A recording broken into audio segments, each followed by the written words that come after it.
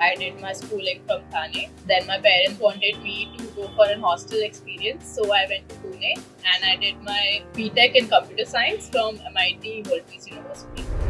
Welcome to Student Stories from YocketVerse.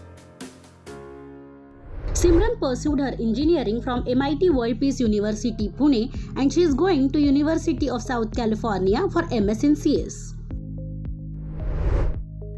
Was study abroad always on the cards? So I had a younger uh, cousin brother who went to US and he told me all about you know experience of US, studying there, working there, and you know many uh, culture experiences that he had.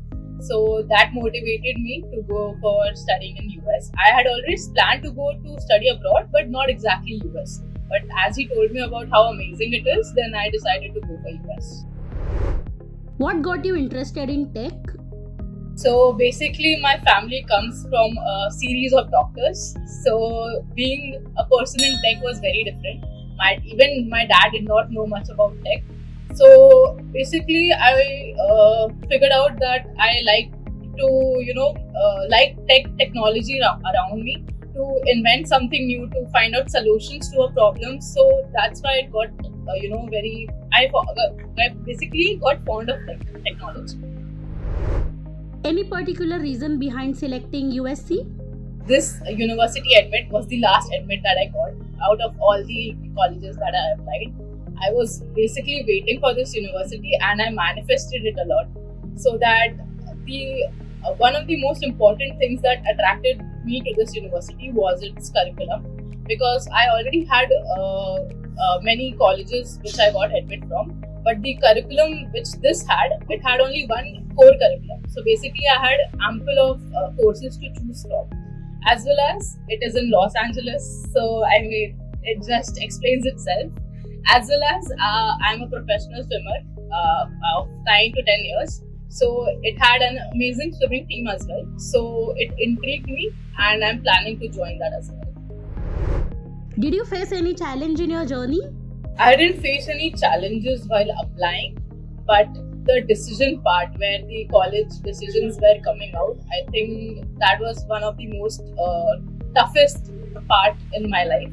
Because as it started, uh, the, my course, uh, computer science, is a very competitive course, and because uh, last two years was COVID, so many students were applying in this term, so it was very competitive. So after so so so many rejects and you know keep uh, keeping hope. My counselor Serene was really motivating me. You know, keep hope. It's fine. Something good will happen. And last, I got this Southern California, so I was very happy. But it was my toughest period of life. I swear. As a fresher, how did you make your profile stand out?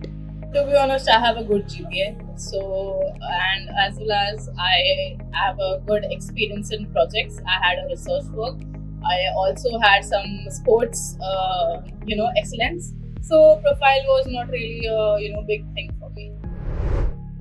How did Yocket Premium help you in your journey? The cousin that I mentioned, he told me about this Yocket Premium basically.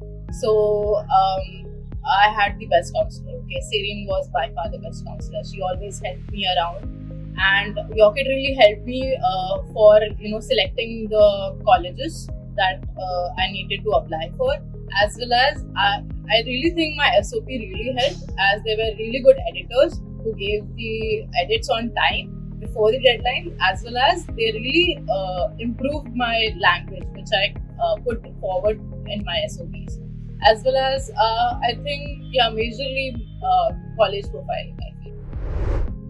Anything you would like to say to your family? So I think my dad i'll give most credit to my dad. Whenever i just used to cry at night like nahi ho raha hai nahi ho raha hai he would be there like it's fine. Something good will happen. Don't lose hope. He would always support me. Even my mom she would just take me out to you know go for shopping or get something to eat or she'll make something to make me feel happy. Even I had my friends supporting me, telling me that you have a good profile, you can do it, don't lose hope. So I'll really thank my family and my friends. What will you miss the most? I'll miss the street food. Definitely the street food. I mean, I had some amazing street food in Pune, and it's like it's very cheap, you know. And everything when you go there in US, everything is costly. I'll just miss the street food here. Any advice to aspirants in terms of exam preparations? For uh, GRE, I would say two months would be sufficient. Work for it. If, you have a low GPA, uh, your GRE score. If you have a, uh, also if you have a good GRE score, your profile would really shine. And if you're you have a good profile, uh, even a decent GRE would be okay. Any words of wisdom for study abroad aspirants in general? I would definitely say go for it. Okay, go for whatever university that you're planning to.